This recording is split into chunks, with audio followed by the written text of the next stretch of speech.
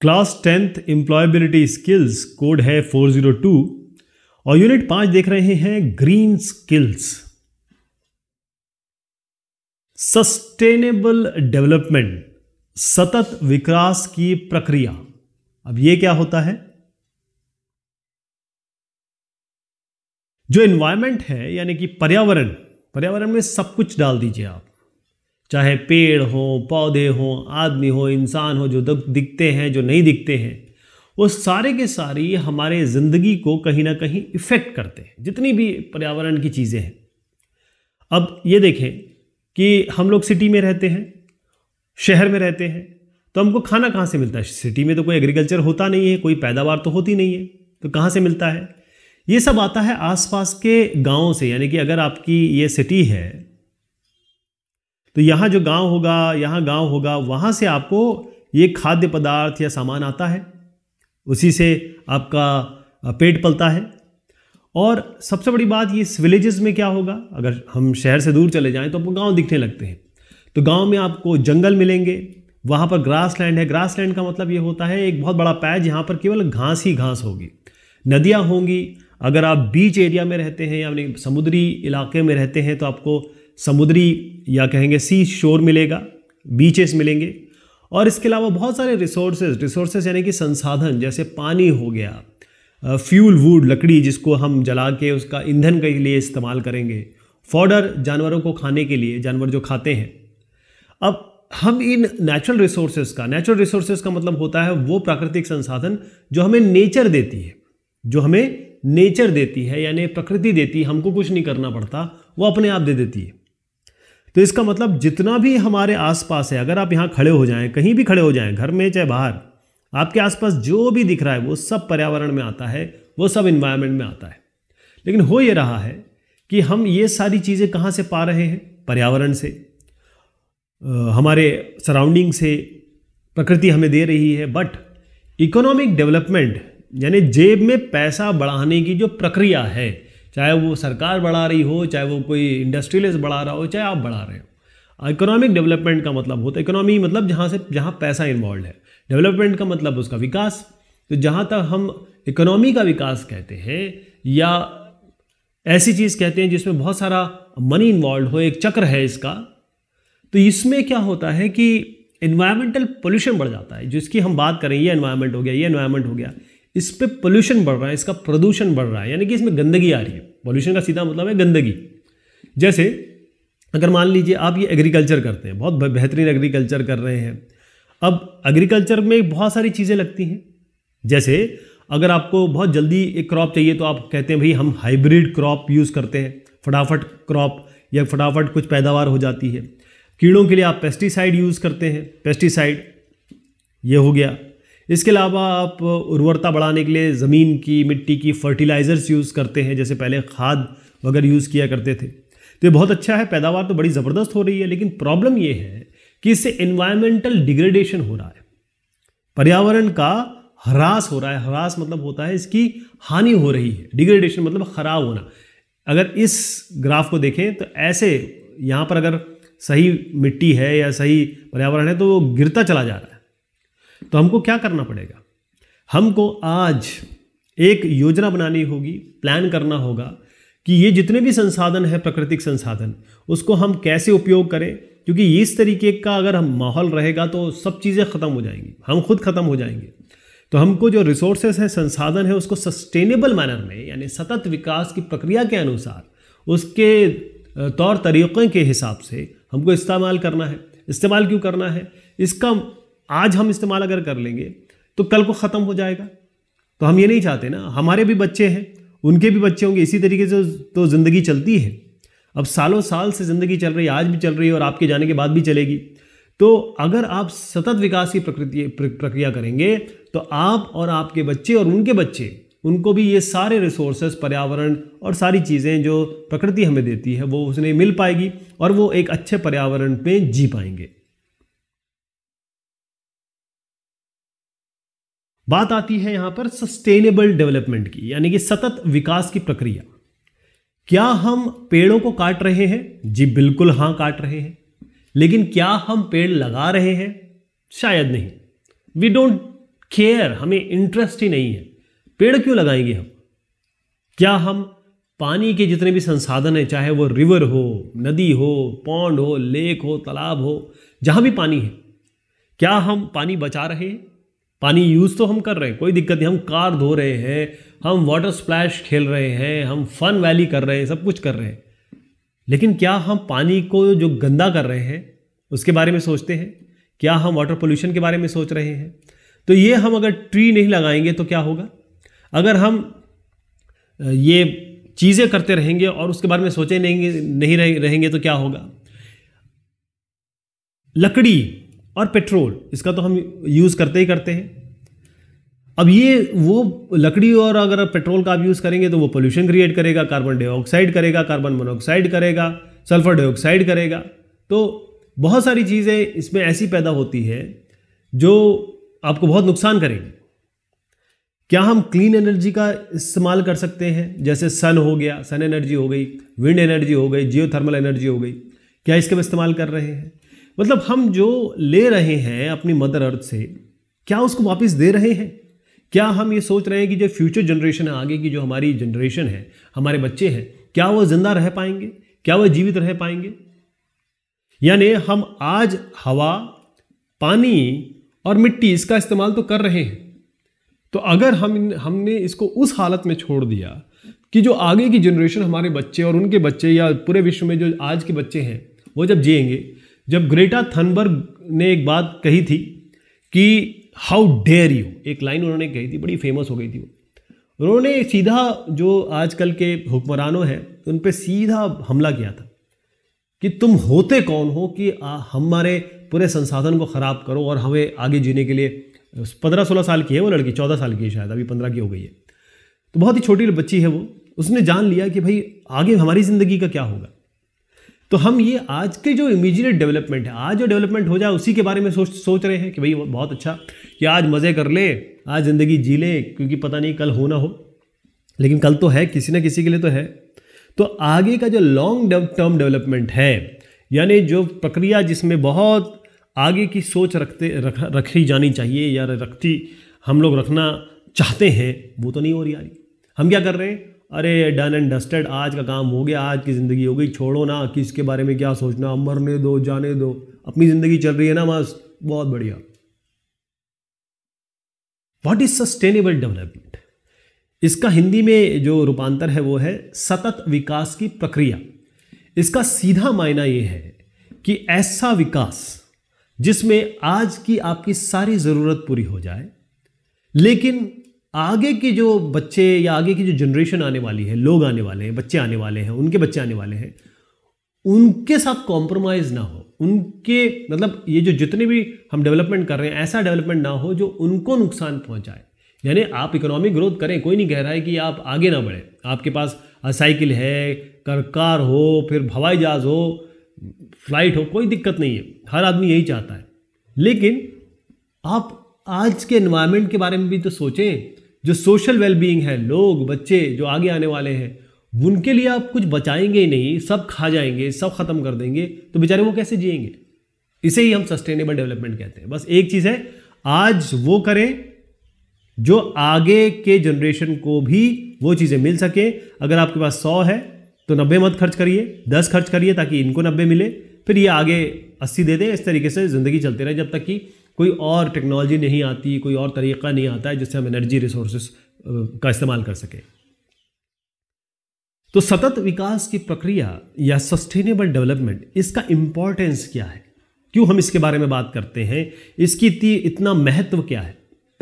तो economic development का मतलब ये है कि हम ऐसा विकास कर रहे हैं इकोनॉमी तो आप समझते हैं अर्थव्यवस्था तो ऐसी अर्थव्यवस्था का विकास, इस तरीके का विकास, जिसमें हम सारे रिसोर्स संसाधन संसाधन कुछ भी हो सकते हैं। खनिज खनिज संसाधन है, पानी है, हवा है, जो भी आप देखते हैं, पृथ्वी हमें पैदा करके देती है और जिसका हम उपभोग करते हैं, जिसका हम उपभोग करते हैं, वही हमारा रिसोर्सेस कहलाते हैं।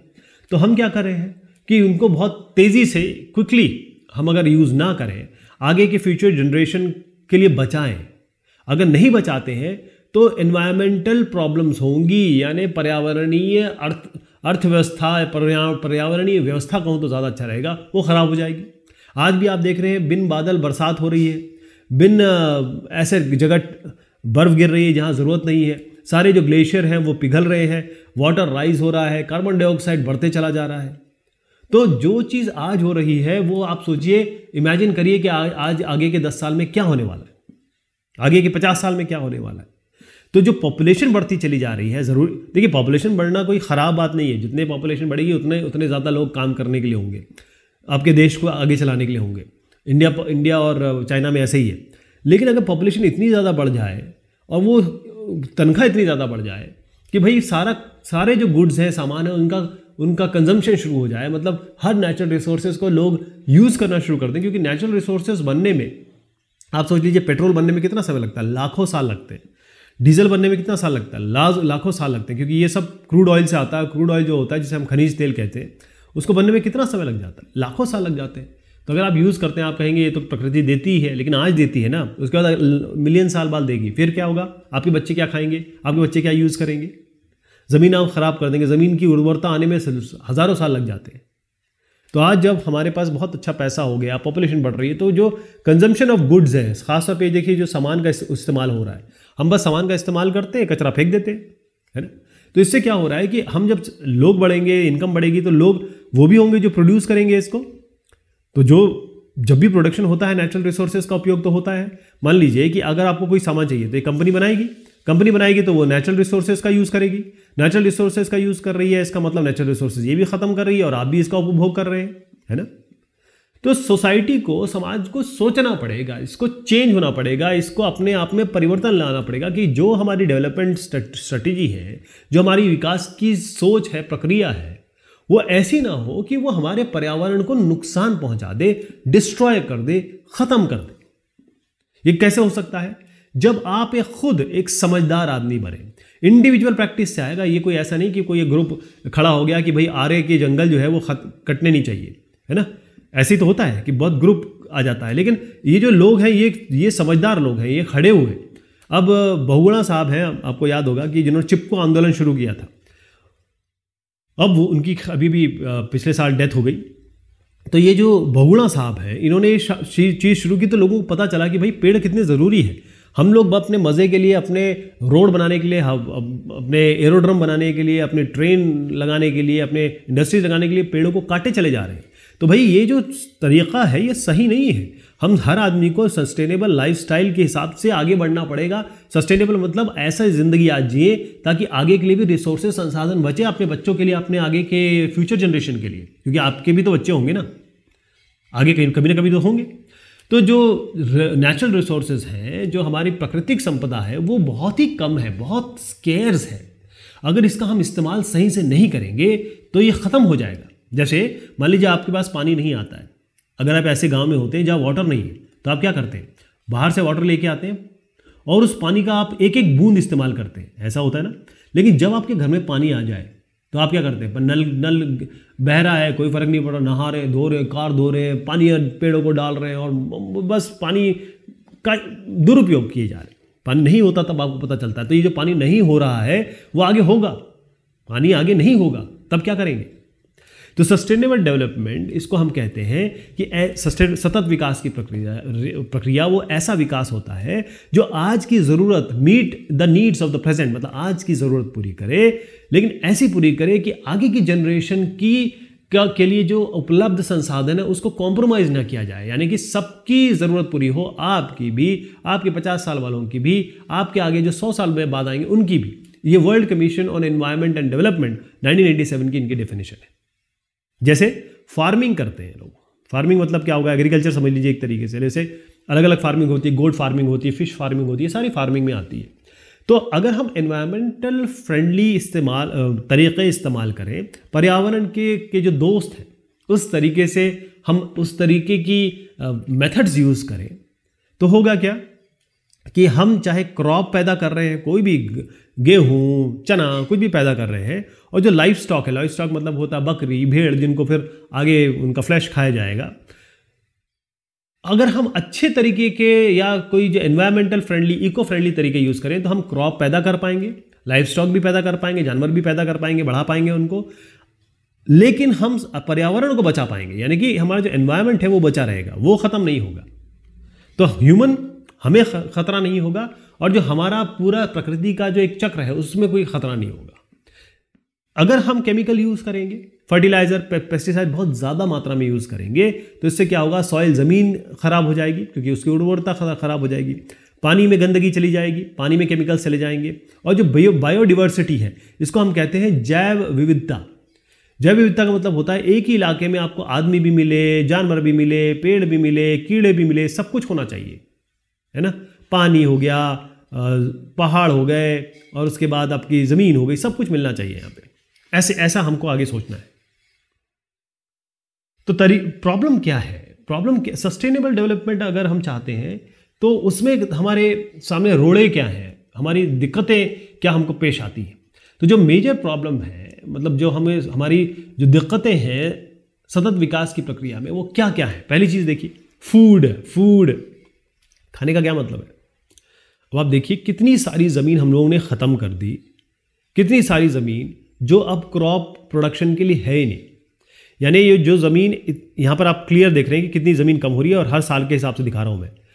ये देखिए कि कोई एक ज़मीन जो फर्टाइल है, उर्वर ज़मीन है, जिसमें आराम से क्रॉप या पैदावार हो सकती थी, जैसे गेहूँ हो गया, चावल हो गया।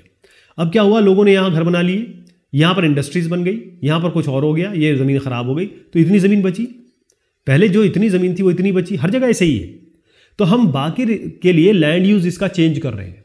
हम केवल अपने आज के फ़ायदे के लिए, चाहे हमारा म्यूनिसपैलिटी हो, चाहे हमारा तहसील हो, चाहे हमारा डी जो डेवलपमेंट अथॉरिटी हो, चाहे सरकार हो, जो भी किसी का नाम ले लीजिए, वो अपने फ़ायदे के लिए सारा इस्तेमाल कर रही है। लेकिन हम ये नहीं सोच रहे कि भाई, ये जो ज़मीन इतनी कम बची है तो इसमें पैदावार होगी? अरे रोटी और चावल तो खाना है। आप क्या हवा खा सकते हो, ज़मीन खा सकते हो, या फिर सीमेंट खा सकते हो? नहीं खा सकते ना? तो सॉइल के न्यूट्रिएंट्स है, ज़मीन की जो उर्वरता है, इसमें जो न्यूट्रिएंट होना चाहिए, चाहे नाइट्रोजन हो ऑक्सीजन हो फॉस्फोरस हो, वो सब होना चाहिए। वो तो ख़त्म हो रहे हैं। और हम जो केमिकल का दबा के इस्तेमाल कर रहे हैं, वो तो पूरी, पूरे सॉइल को अपनी मिट्टी को ख़राब कर रहा है।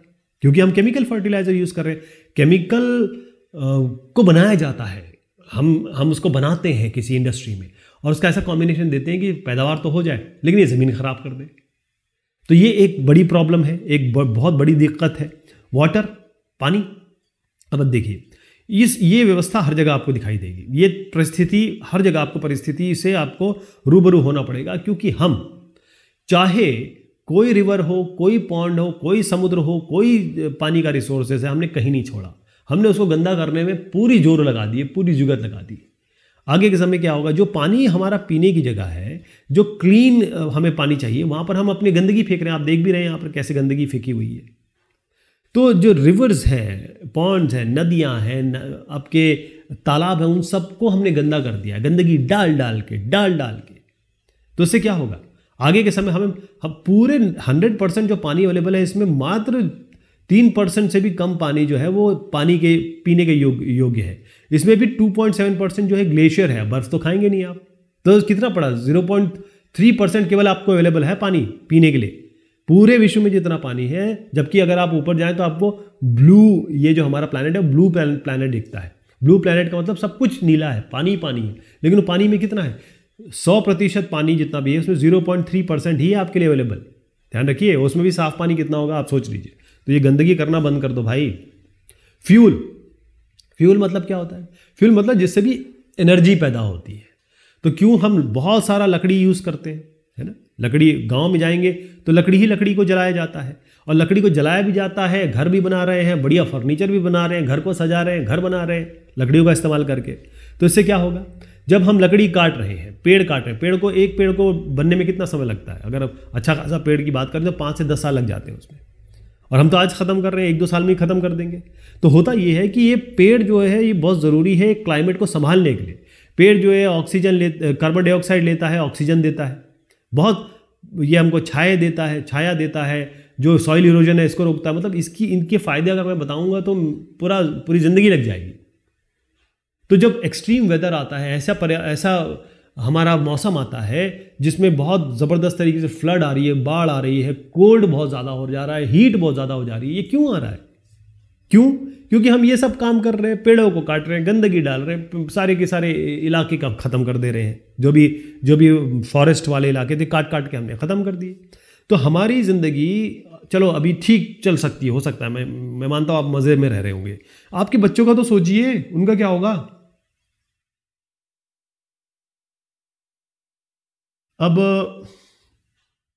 एक एनवायरमेंटली फ्रेंडली तरीका है, और इसकी चर्चा मैं सोचता हूँ हम अगली बार करते हैं, ठीक है? तब तक के लिए शुक्रिया, मेहरबानी आपकी।